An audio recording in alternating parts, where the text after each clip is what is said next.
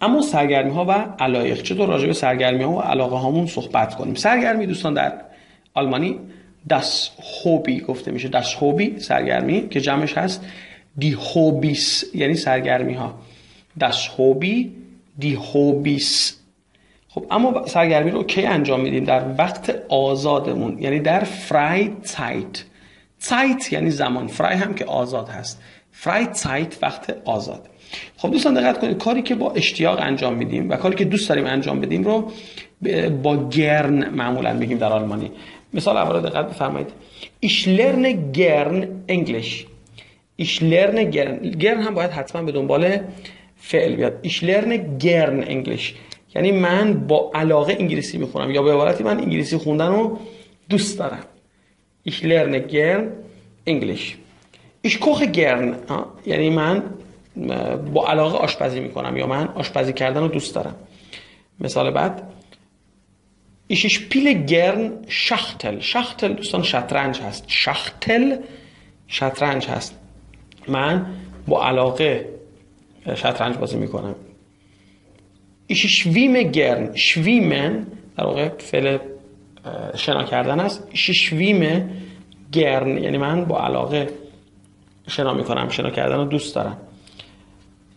مثال بعد Ich gehe gern einkaufen یعنی با علاقه میرم خرید ich gehe gern einkaufen ich sehe gern fern خب fern sehen که فرن بعد آخر جمله قرار بگیره تلویزیون دیدن بود ich sehe gern fern یعنی من با علاقه تلویزیون می‌بینم یا از تلویزیون دیدن لذت می‌برم اما دوستان برای کارهایی که ازشون خوشمون نمیاد یا علاقه به انجامشون نداریم باید از نیشت گرن استفاده کنیم. به جای گرن نیشت گرن.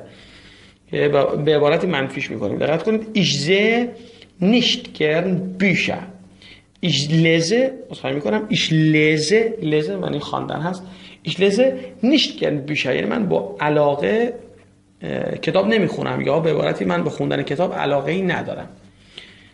خب اما علاقه رو چی میگیم در آلمانی؟ دی اینترسه دی اینترسه یعنی علاقه دی اینترسه علاقه یادتون باشه اینترسانت هم به معنی جالب مطلوب لذت بخش هست اما چطور راجع به علاقه همون صحبت کنیم خب همین استفاده از گرد در واقع یک نوع استفاده از خب معمولا هابی رو به این صورت میگیم اون هوبی یا سرگرمی رو اما در واقع علاقه مندی رو هم با استفاده از گرد میگیم اما یک اصطلاح بسیار پرکاربرد اصطلاحی که اینجا می‌بینید میا گفلت. میا گفتیم برای من یا به من؟ برای من لذت بخشه. میا گفلت. گفلت به معنی در واقع همون لذت بخش بودن است. میا گفلت رایزه. رایزه یعنی مسافرت دوستان. رایزه مسافرت.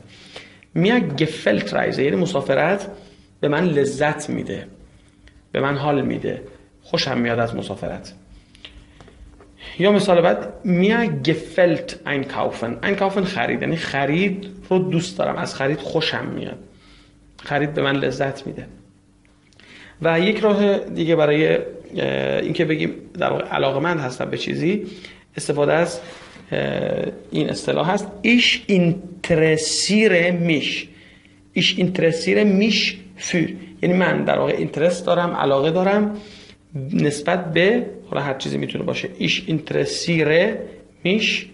من علاقمند هستم فور به دویچ به آلمانی مثلا به آلمانی علاقمند هستم. یا Ich interessiere mich für Fußball. من به فوتبال علاقه دوستان ویدیویی که دیدید نمونه هست از پکیج کامل ما. شما عزیزان از هر جای دنیا که هستید فرق نمی‌کنه از داخل یا خارج از کشور می‌تونید با ما در تماس باشید دوستان عزیز. و از طریق تلگرام و اینستاگرام که می‌تونید مشاهده کنید در تصویر با ما در تماس باشید.